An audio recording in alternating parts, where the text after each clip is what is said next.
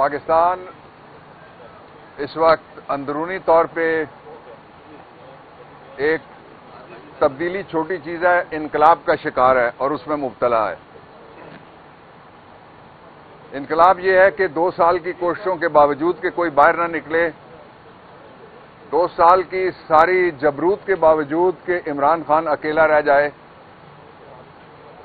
और दो साल में बल्ला बल्लेबाज विकेट और ऑपोजिट टीम चारों को बाहर निकालने के बाद नवाज़ शरीफ अकेला दौड़ा और अकेला हार गया।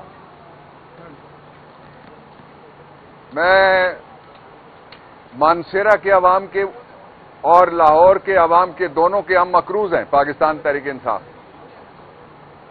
इसलिए कि वहाँ ना हम जलसा कर सके, ना हमें रैली की इजाज़त थी ना हम कंपेन कर सके ना हमें निकलने की इजाज़त थी इसके बावजूद पाकिस्तान के लोगों ने एक सॉफ्ट रेवोल्यूशन के हक में वोट दिया है। और वो सॉफ्ट रेवोल्यूशन है, पाकिस्तान के लोगों की हकीकी आज़ादी मुल्क उनका है, किसी का नहीं है और। और इस मुल्क में राज अवाम का होगा, वोट से होगा, किसी दूसरे तरीके को हम नहीं मानेंगे। और इस दौरान आज जब मैं आपके पास बात कर रहा हूँ, आठ, नौ, दस, ग्यारह और बारह, पांचवां दिन है।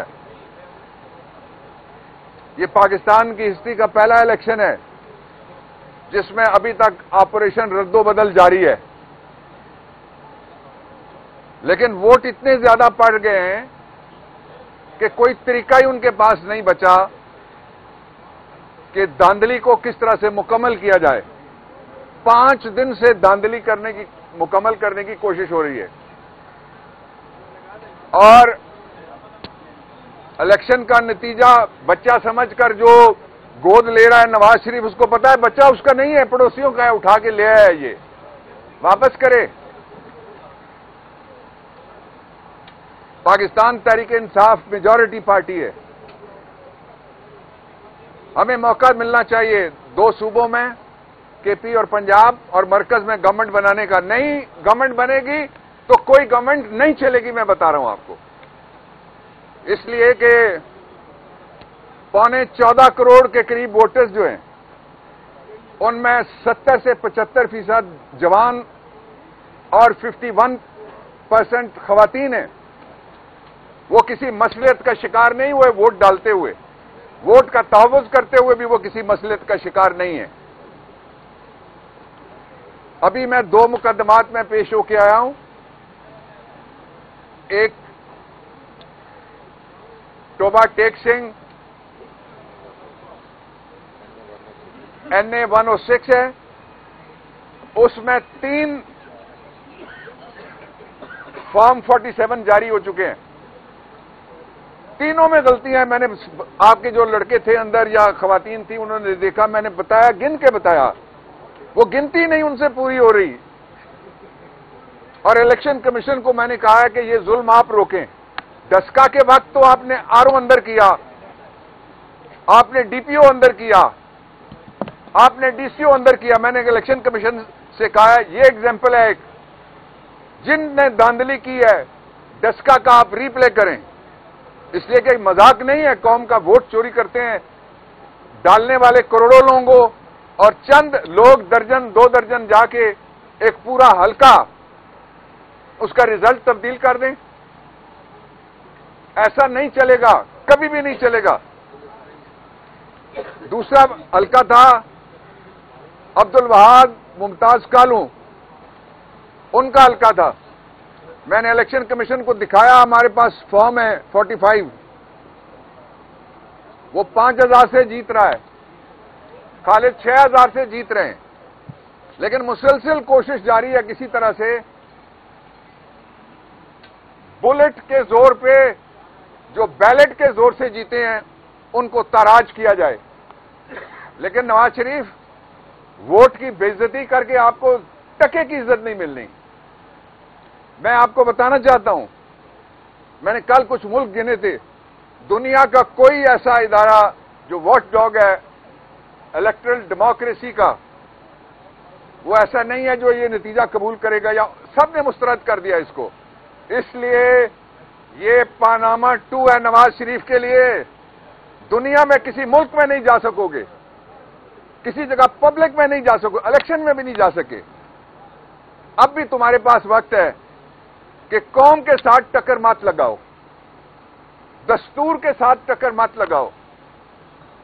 कौम का राइट ऑफ़ वोट मत छीनो।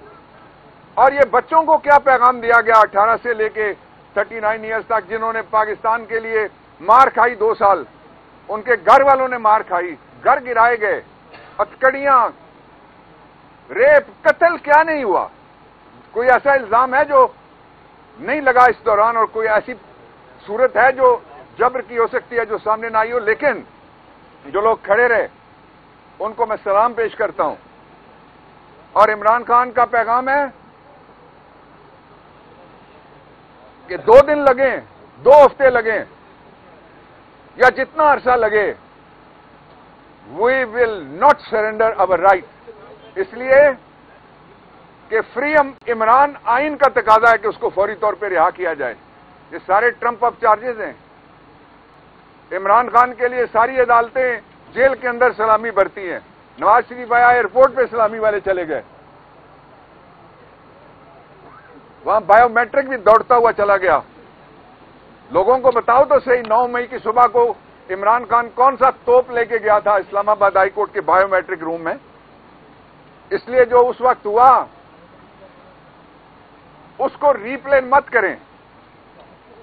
कि हम किसी जगह को भी महफूज नहीं समझते।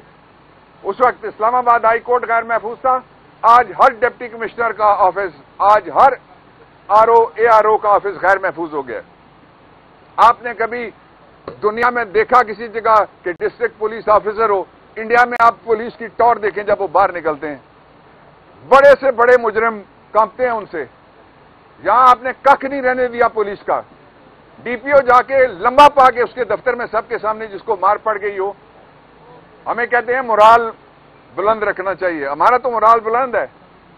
सारे इदारों को पामाल किया जा रहा है। सारी जो तकरीम है इस मुल्क की इज़्ज़त है, वो पाकिस्तान के लोगों के साथ है, जिन्होंने मुस्तकिल यहाँ रहना है। इसलिए मैं आपसे ये दरखास्त करना चाहता हूँ सारे अफराद और इदारों से, कि धांधली का सिलसिला पाँचवें दिन रोक दिया जाए। और अगर इलेक्शन कमीशन ने मौसर ऑर्डर्स करके लोगों को इंसाफ दिलाया तो इनके लिए भी एहतराम आएगा लोगों के दिलों में और एतबार आएगा। दो बातें मैं खास तौर पे कहना चाहता हूँ कि इस वक्त पाकिस्तान में ज़रूरत इस बात की थी कि कौम को किसी बात पे इकट्ठा। आप कहते हैं, एक ठग के पीछे पूरी कौम, वो कहता है, मेरे साथ था जो मुझे मेजोरिटी मिल गई है, पड़ोसियों को बच्चा उठा के ले गया और उसका हकीका करने जा रहा है। वापस करो यार। जिनका बच्चा है वो जाने ये वोट कौम का है कौम के बच्चों का वोट है। ये अगवाकारी मत करो वोटों की। और दूसरी बात मैं ये कहना चाहता हूँ कि पाकिस्तान के मैं ये दोहराता रहूँगा निज़ाम में इस इलेक्शन पे अगर सुओ मोटो नहीं होता तो आइन में सुओ मोटो की रखने की रहने की होने की मौजूदगी की कोई ज़रूरत नहीं है।